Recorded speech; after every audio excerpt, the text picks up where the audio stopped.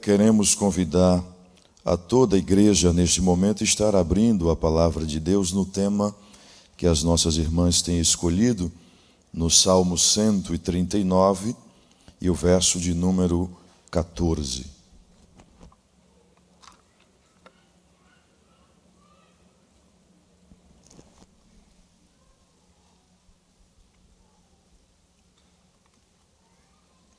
Salmo 139, verso 14, a palavra do Senhor nos diz: Eu te louvarei, porque de um modo terrível e tão maravilhoso fui formado. Maravilhosas são as tuas obras, e a minha alma o sabe muito bem. Quantos podem dizer amém? amém? Meus amados irmãos, todos nós sabemos que o Salmo de número 139 ele descreve alguns atributos incomunicáveis de Deus, a saber, a sua onisciência, a sua onipresença, como também a sua onipotência.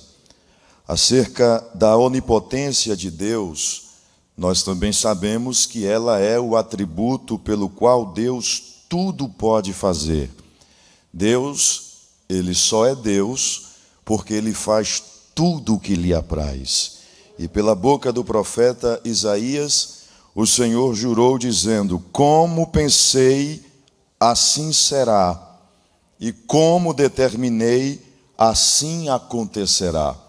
Somente Deus, que possui o poder de fazer tudo o que pensa, é que pode fazer aquilo que lhe apraz. Somente Deus, que possui o poder de fazer tudo o que determina, é que pode fazer aquilo que está nos seus planos.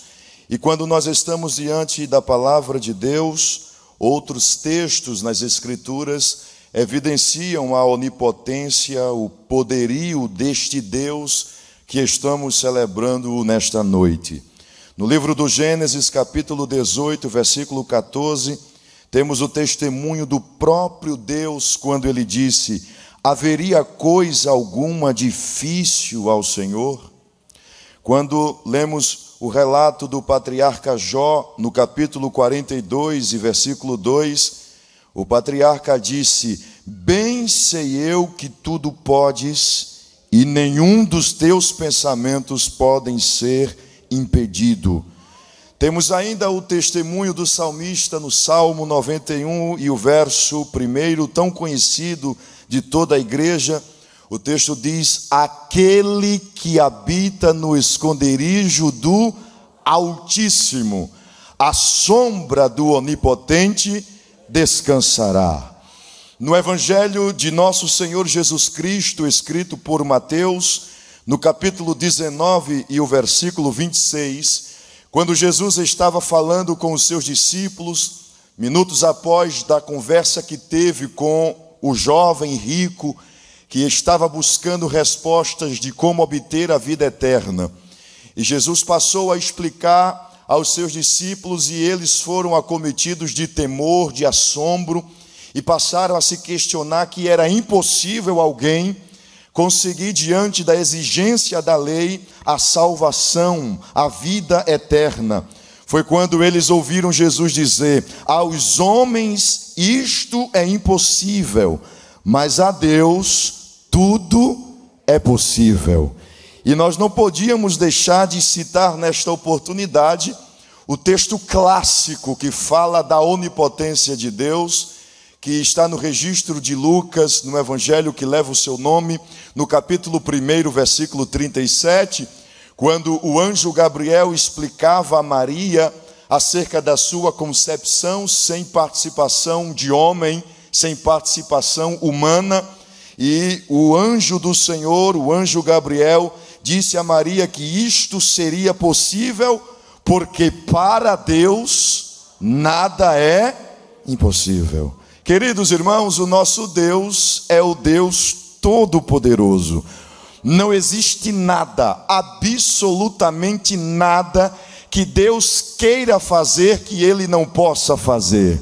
Como Ele mesmo disse: como pensei, assim será. Como determinei, assim se efetuará.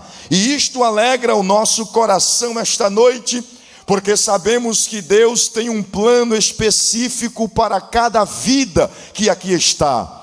Nós sabemos que Deus tem planos para a nossa família.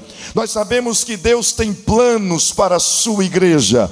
Nós sabemos que Deus tem plano para o nosso Brasil.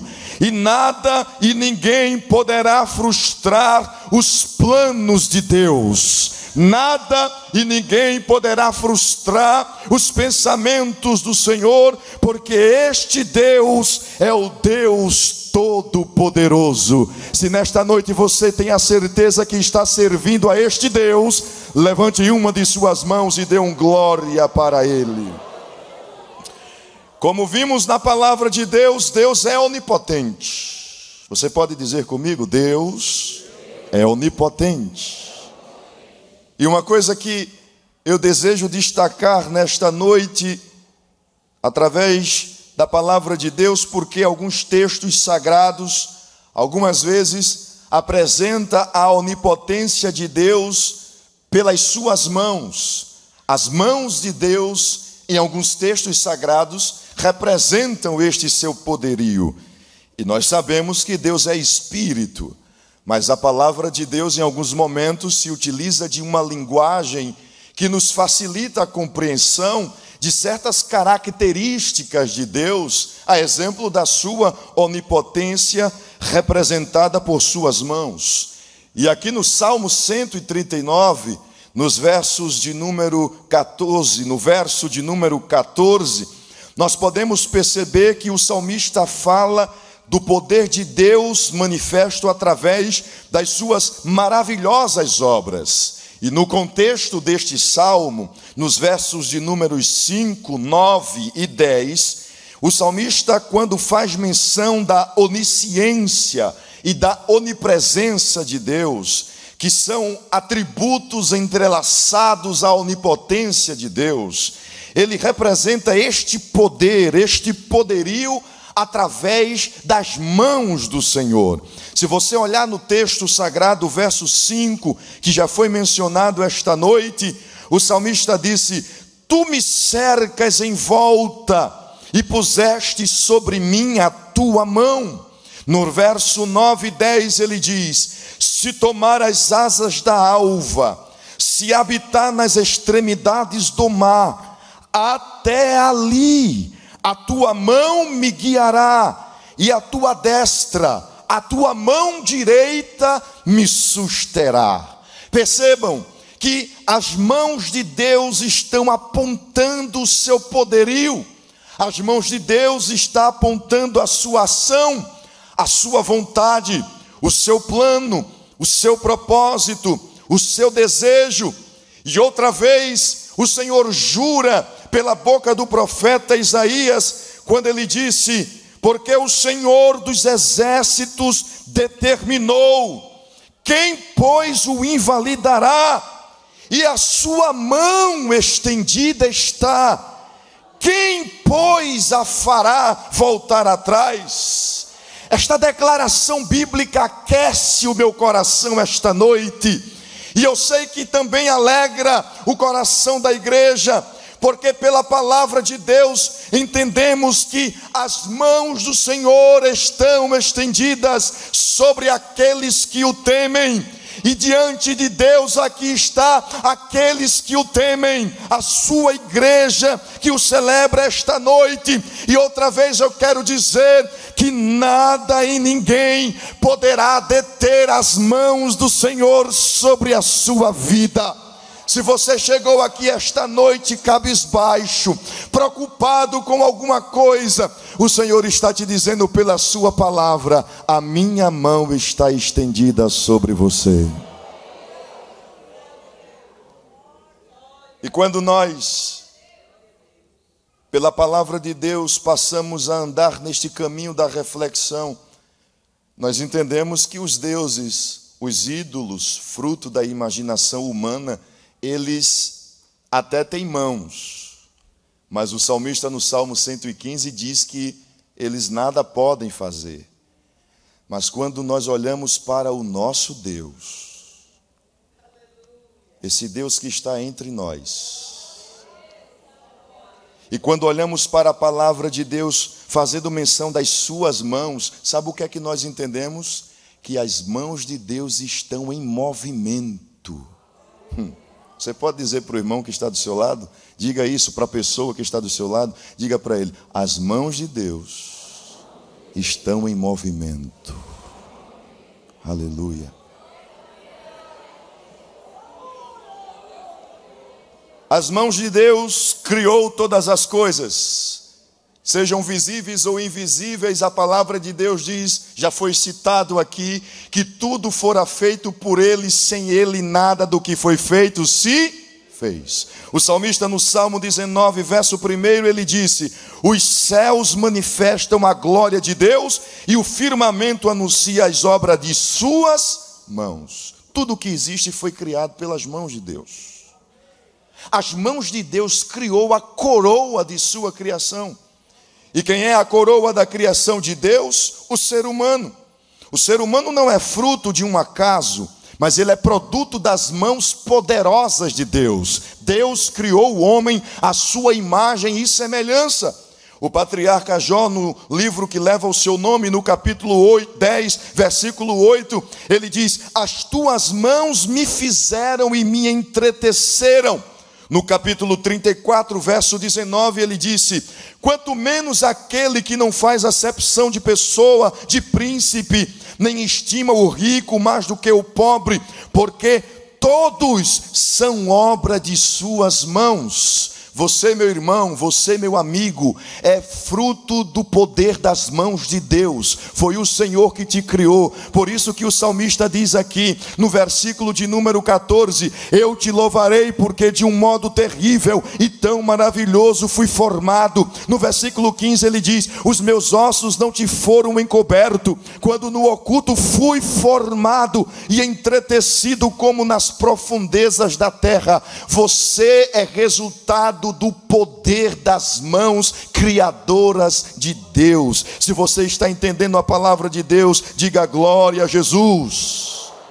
Mas uma outra coisa que nós aprendemos na palavra de Deus é que a nossa vida está nas mãos de Deus. O nosso Deus que nos criou com suas mãos, estabeleceu também nas suas mãos o tempo da nossa vida. O Salmo 31, verso 15 diz: Os meus tempos estão em tuas mãos, os justos estão nas mãos de Deus. Tem lugar melhor para se estar? Tem lugar melhor para se estar? O Senhor disse no capítulo de número 49, versículos 15 e 16 do livro do profeta Isaías: Pode uma mulher, uma mulher esquecer-se tanto do filho que cria, que não se compadeça dele, do filho do seu ventre?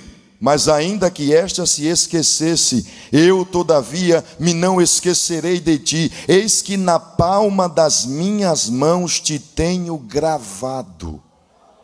Eu quero dizer nesta noite à igreja do Senhor, eu quero dizer nesta noite às nossas irmãs do coral louvor, nós estamos nas palmas das mãos de Deus. Ninguém poderá investir nenhum mal contra a sua vida e Deus não vai permitir que coisa alguma de ruim venha acontecer contra a sua vida, porque Ele está cuidando da tua vida, Ele está cuidando da tua família, Ele está cuidando da sua parentela. Se você recebe esta palavra, diga glória a Deus. Outra verdade é que as mãos de Deus muda o nosso destino. É a mão dele que intervém e muda a nossa sorte. Primeiro livro das Crônicas, capítulo 4, está escrito que Jabez invocou o Deus de Israel e ele disse: Se me abençoares muitíssimo e os meus termos amplificares, e a tua mão for comigo. Aí a palavra de Deus diz: e Deus lhe concedeu o que lhe tinha pedido, e foi Jabez mais ilustre do que os seus irmãos. talvez nesta noite você chegou aqui preocupado com muitas coisas, mas o Senhor está te dizendo pela sua palavra: a minha mão, ela é suficiente para determinar o teu futuro. A minha mão, ela é suficiente para intervir e mudar a tua sorte. Se você crer neste Deus, diga aleluia. A mão de Deus prover as nossas necessidades. São de suas dadivosas mãos que tudo o que precisamos vem.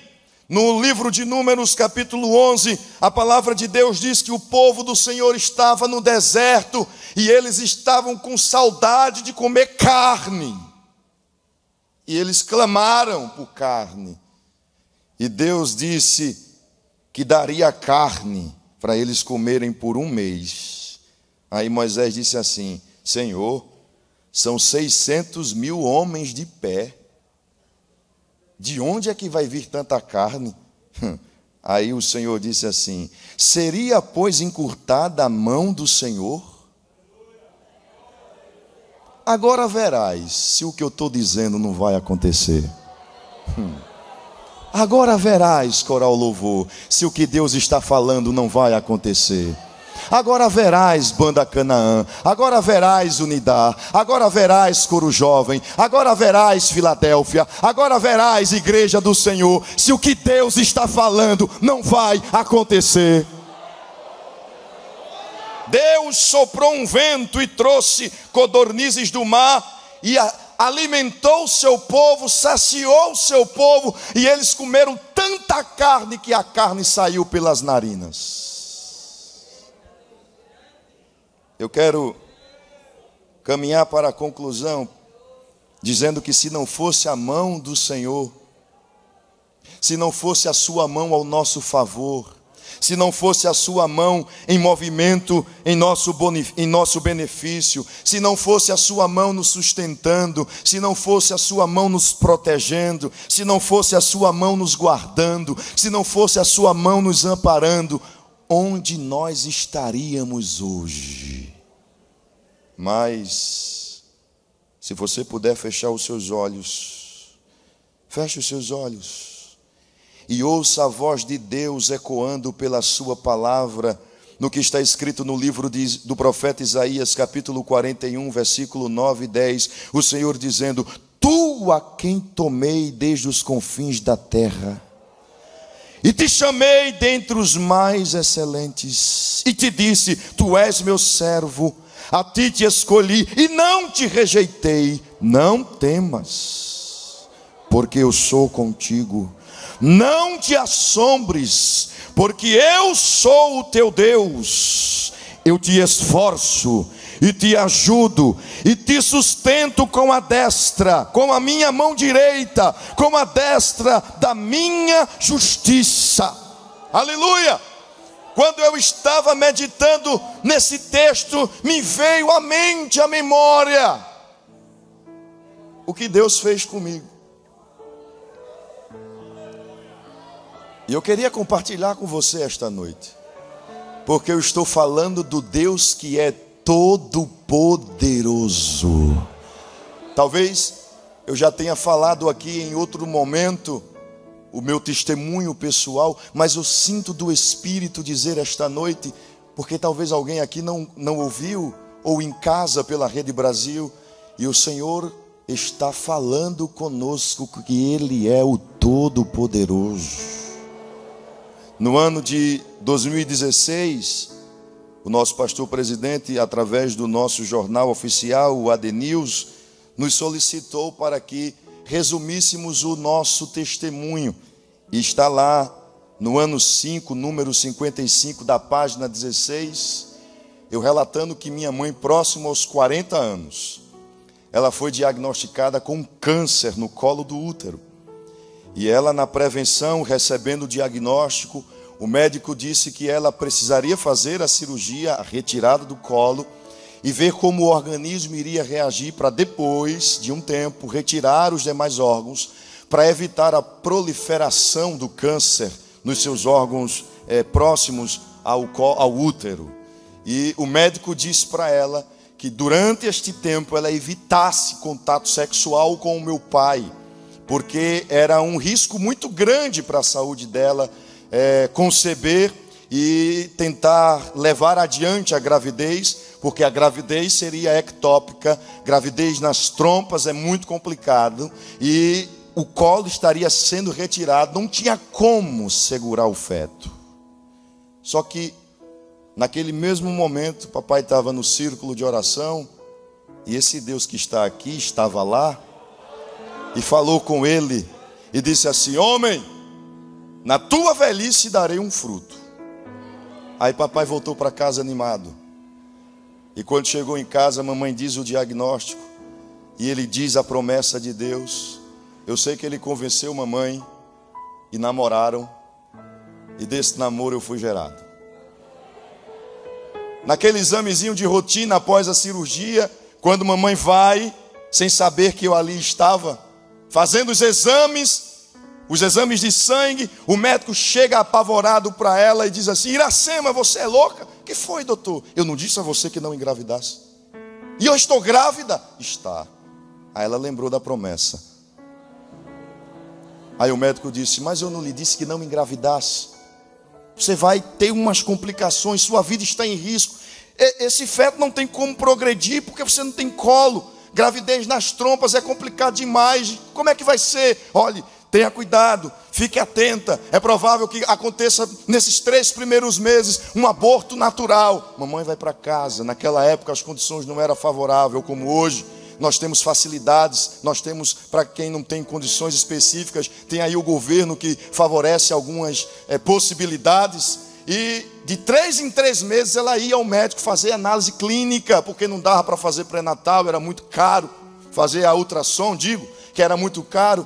E nesse primeiro trimestre, o médico recebe ela na esperança que eu estava em processo de aborto. Só que quando ele coloca um instrumentozinho na barriga dela para ouvir o meu coração, o meu coração estava.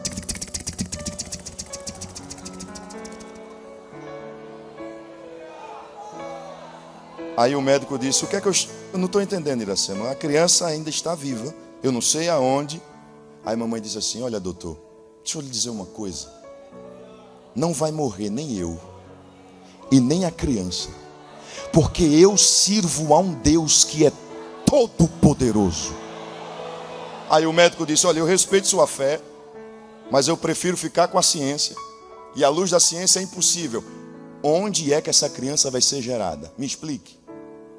Hum.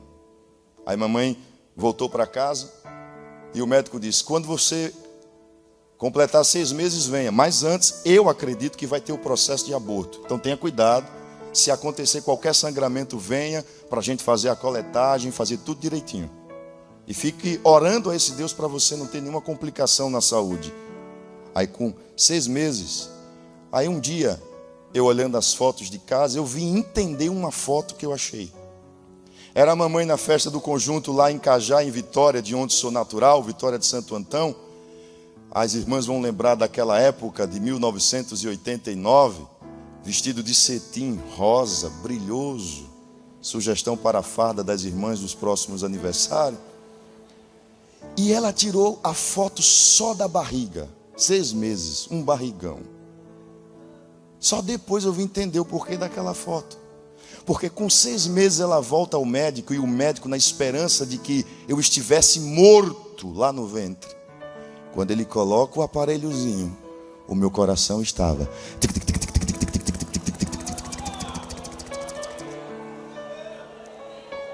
Ele olha para a mamãe e diz assim: ó, o tamanho da barriga é grande, mas eu acho que a criança é pequena. Para estar tá aí ainda, não tem como, já era para ter descido. E eu dizia à mamãe: E mamãe, como é que a senhora me sentia? Aí ela me disse: Olha, meu filho, eu te sentia nas partes mais baixas. Um dia, solteiro, auxiliar de trabalho, lá em Vitória de Santo Antão, recebendo a confiança do nosso pastor nas primeiras escalas no interior do estado. Eu fui escalado pelo pastor a um distrito de Saloá chamado Catimbau. Ali ouvi a voz de Deus. Deus ali falou sobre tudo que vivi e estou vivendo. E naquele lugar ninguém sabia da minha história. E Deus bradou e me disse: Tu te lembras quando tua mãe te dizia que te sentia nas partes mais baixas? Sabe o que foi que Deus disse? Era a minha mão que te sustentava. Mamãe segurou até os nove meses. Fez a cesárea quando o médico me tirou do ventre dela. As irmãs sabem que, sabem que é, parto cesáreo geralmente tem que dar um estímulo na criança para ele entender que saiu dali. Às vezes é uma tapinha no bumbum, às vezes é um, um, uma ticada no nariz. Mamãe, palavras dela. Ela disse assim: Olha, Salatiel, não precisou nem ele bater no teu bumbum. Quando ele tirou, tu já saísse fazendo. Eu te louvarei, Senhor. Porque de uma forma assombrosa eu fui formado. Eu quero dizer a você, minha irmã, a você, meu irmão, Deus é poderoso, como foi dito pela unidade, para fazer infinitamente muito mais do que você pede, do que você pensa, do que você precisa.